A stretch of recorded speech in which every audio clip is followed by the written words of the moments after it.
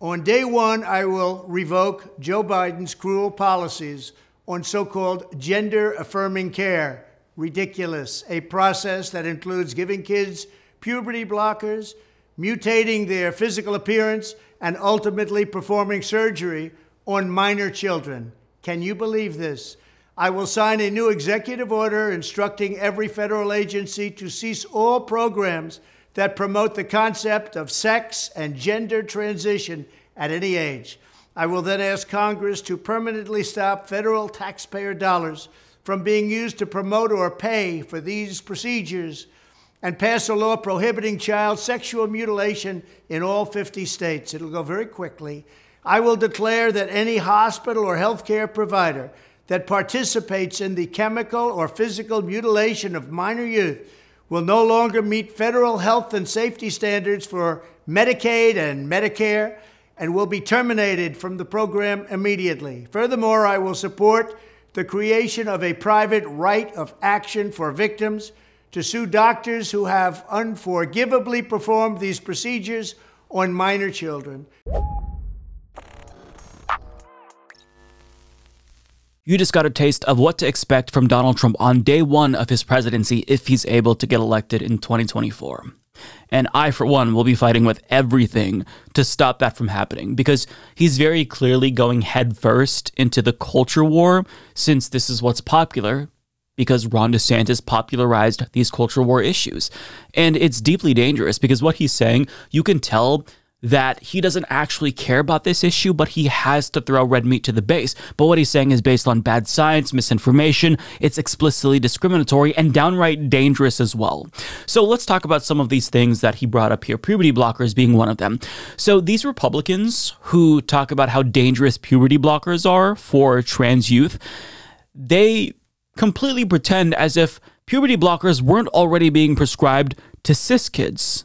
Because believe it or not, that is the thing that happens. As Vice News explains, puberty blockers have been used for decades in cisgender kids who either are going through puberty too early or, in some instances, kids who are going through puberty very quickly. Jason Klein, a pediatric endocrinologist and assistant director of the Transgender Youth Health Program at Hassenfeld Children's Hospital in NYU Langone, told Vice quote, their use has been FDA approved, well studied, well documented, and well tolerated for a long time now, and it's the exact same medication that we use in trans or non binary children to basically put a pause on pubertal development. Exactly the same medications at exactly the same doses. Now, the reason why puberty blockers have been prescribed to cis kids is because if you have puberty too early, that can cause long term problems into adulthood. It can affect your height, and your bones. So, this is why doctors have been prescribing puberty blockers to cis kids. But Republicans only have a problem with it when it's being prescribed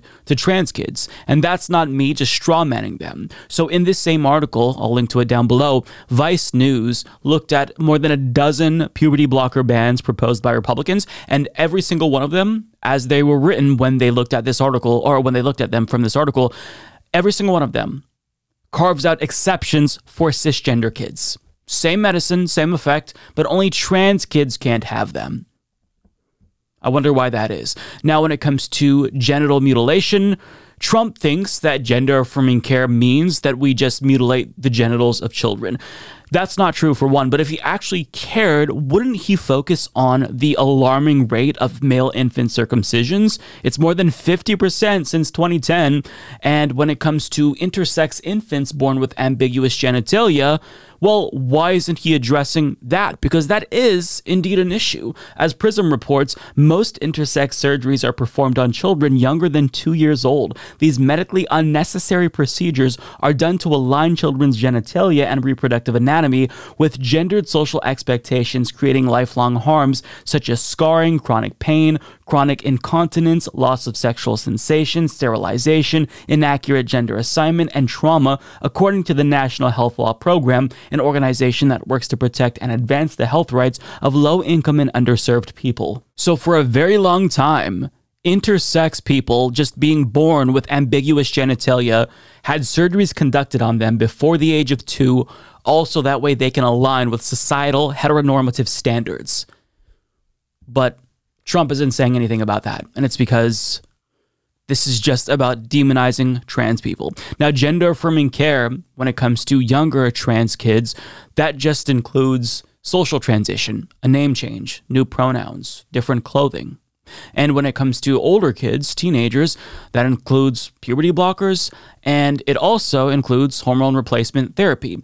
But that's only if they have persistent gender dysphoria. So it's not like you can just declare yourself trans and go to the doctor and transition and get the surgeries immediately. I mean, if you're a trans adult, you can't even do that. First of all, because um, it takes years of treatments and working with the doctor to confirm that you do indeed have gender dysphoria. But even if you qualify for bottom surgery, for example, as an adult, it's extremely cost prohibitive.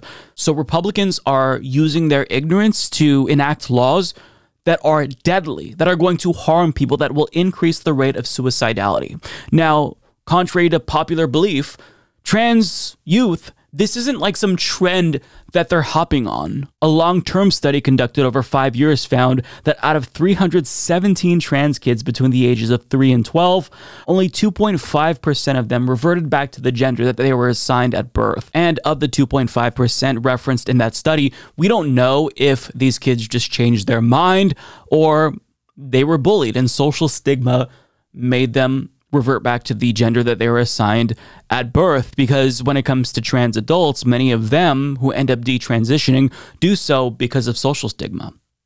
Now, not only is it not a trend, but it's also medically necessary. LGBTQ Nation explains contrary to Trump's statement, there is growing evidence that providing gender affirming healthcare to young people improves their mental health. Gender affirming care for adolescents and adults has been endorsed by the American Medical Association, the American Academy of Pediatrics, the American Psychiatric Association, and many other professional groups as necessary and frequently life saving for transgender individuals. Such care for young people rarely involves surgical intervention. And to the extent that surgical intervention is involved, that usually refers to top surgery for trans boys when they're older teenagers.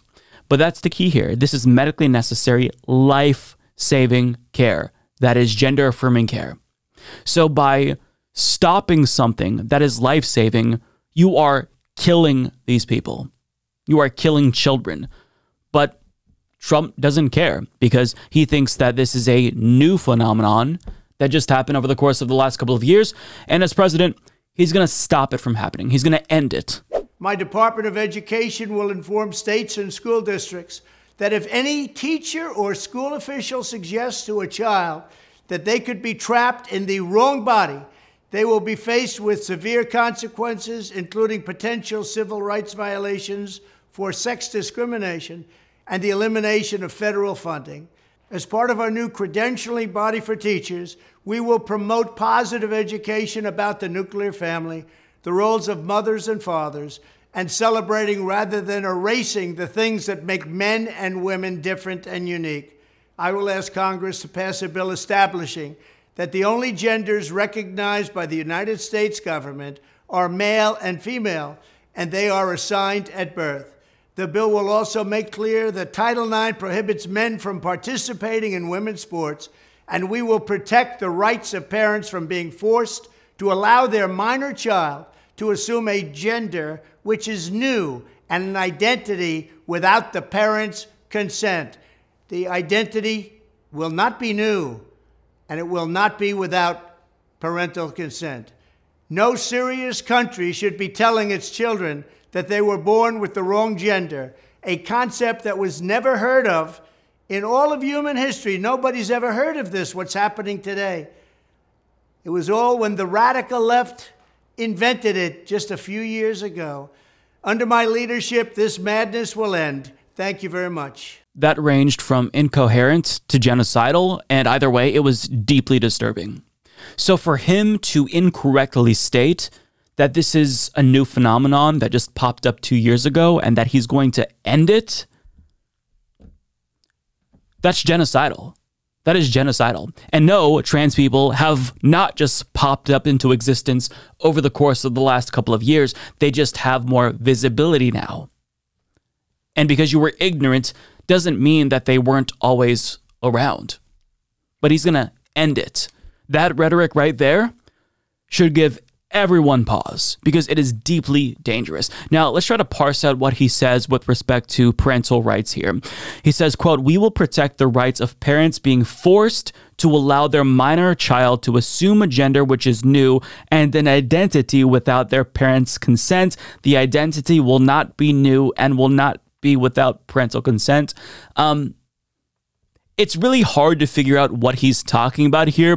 But essentially, what I think he's trying to say is that, you know, if a child goes to their teacher and says, I'm experiencing gender dysphoria, or I think that I may be a girl or a boy, that teacher is not allowed to tell that child that they're trans because that's stripping consent away from the parent. And they have to be able to consent to their child being trans. Now, he says this, but simultaneously, he also wants to revoke consent away from parents by banning gender affirming care. So, which is it? Do you want parents to be able to consent to what their child can and can't receive with regard to care, or do you want to take that away? It's incoherent, but causing chaos is part of this project because more chaos leads to confusion. It leads to doctors being more precautious and a little bit more reluctant to prescribe gender affirming care to trans youth.